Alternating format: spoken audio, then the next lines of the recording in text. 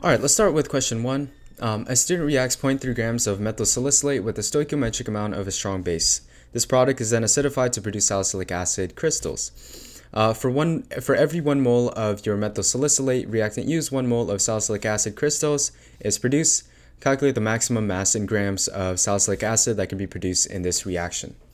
All right, so we know that we have uh, 0.3 grams of your uh, methyl salicylate, C8H8O3. Um, and we know that for every one mole of this, you produce one mole of salicylic acid. So let's first ca uh, calculate how many moles this is. We know that the molar mass is uh, 152.15 grams per every one mole. Um, and we know that uh, every mole of this is going to produce one mole of salicylic acid. And in order to find the mass, let's multiply by the molar mass of uh, salicylic acid. So that is 15, sorry, 138.12 grams.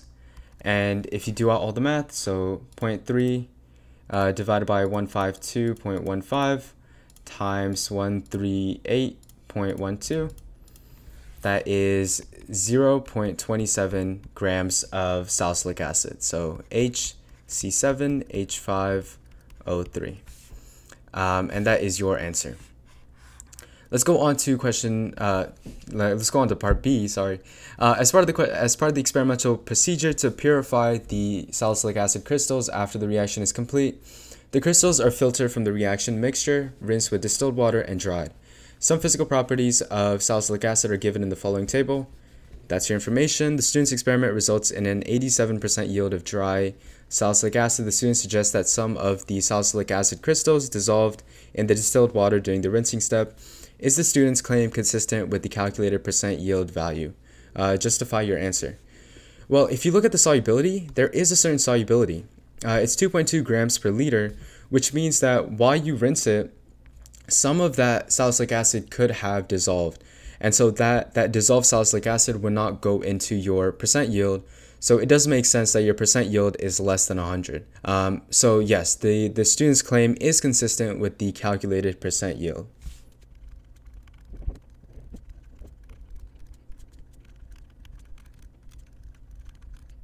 So the student's claim is consistent with the percent yield because salicylic acid is soluble in water, so it is reasonable that some of it dissolved, giving us a percent yield of less than 100%. Let's go on to C. Given the physical properties on the table, calculate the quantity of heat that must be absorbed to increase the temperature of a 0.105 gram sample of dry um, salicylic acid crystals from, tw from 25 degrees Celsius to the melting point of 159 Celsius and melt the crystals completely. So our total heat required is going to be the heat required to heat up the, uh, the sample. So let's say that is Q heat um, plus the heat required to melt the crystal. Um, so let's say that's Q melt. So Q heat is kind of easy. Q heat is going to be mc delta T. So that's your mass of the sample, that's your specific heat, and that's the change in temperature. Your mass is 0.105 grams. Your specific heat uh, is given in your table. It is 0.1, uh, 1.17, so 1.17 joules per grams times degrees Celsius uh, times your change in temperature. So that's going to be 159 minus 25, so 134 degrees Celsius. And if we do out the math, uh, 0.105 times 1.17 times 134. That is about 16.5 joules. Now let's do our Q melt. So the amount uh, required to melt it is going to be based on your heat of fusion. Your heat of fusion tells you that you need 27.1 kilojoules of energy per every mole that you melt. So how many how many moles do we have? Uh, we have 0.105 grams Let's turn that into moles. So divide by the molar mass, which is 138.12 uh, per one mole. And we know that one mole uh, requires 27.1 kilojoules. So how many joules is that? So 0.105 uh, divided by 138.12 times 27.1.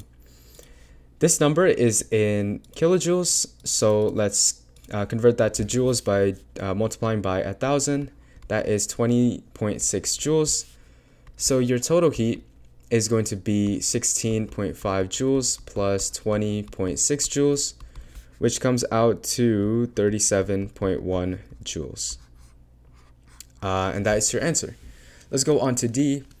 The structures and melting points for methyl salicylate and salicylic acid are shown.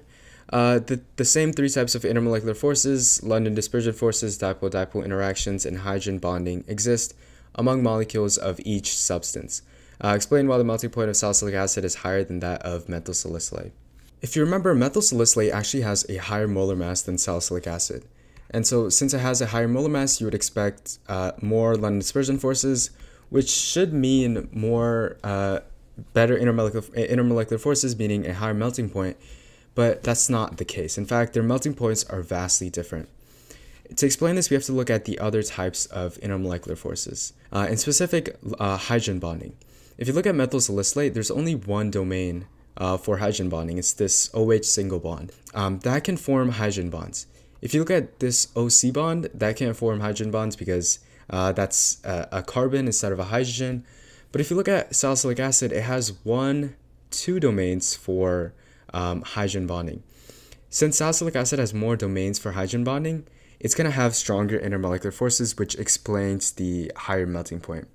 And yes, one one uh, hydrogen one more domain for hydrogen bonding can make such a big difference in melting point. Hydrogen bonding is a very strong form of intermolecular force.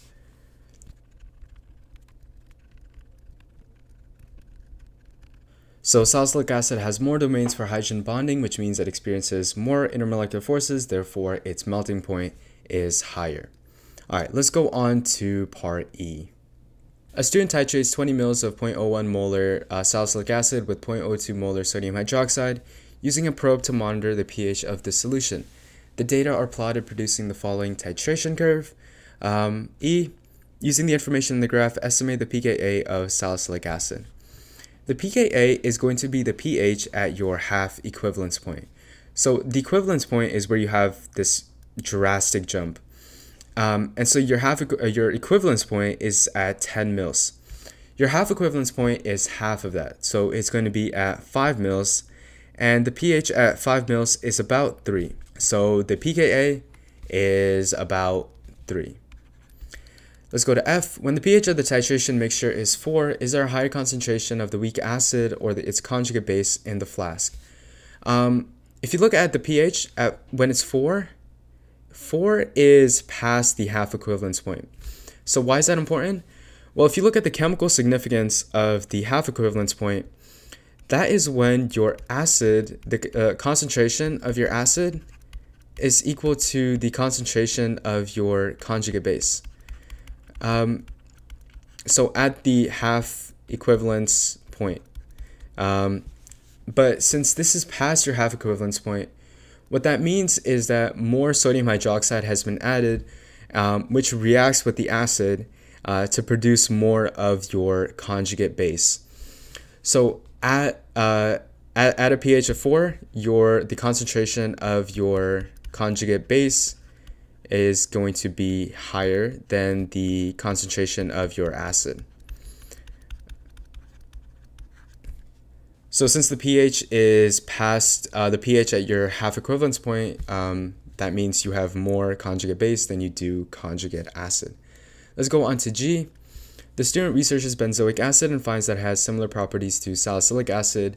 Uh, the Ka for benzoic acid is 6.3 times 10 to the negative 5. Calculate the value of pKa for benzoic acid. pKa has a really simple formula. It's the negative log of Ka.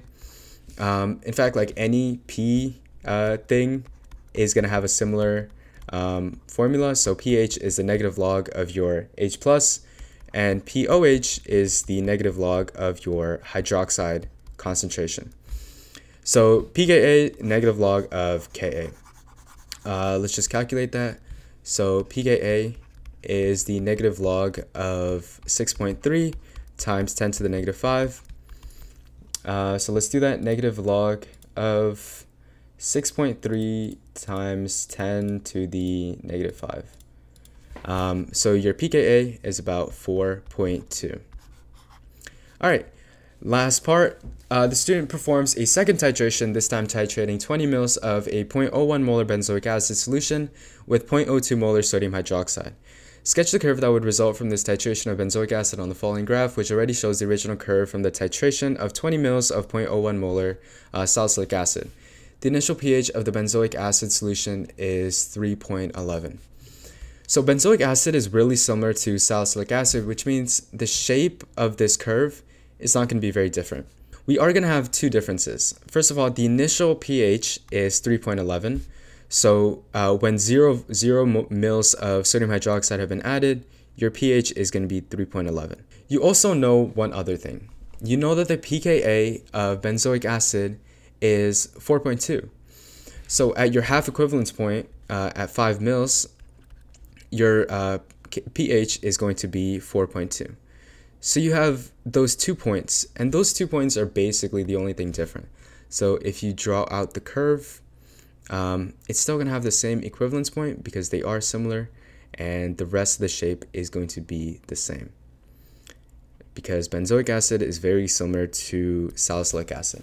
So your, your graph, your titration graph would look something like this for benzoic acid. The two differences are uh, a different initial pH and your pKa is different.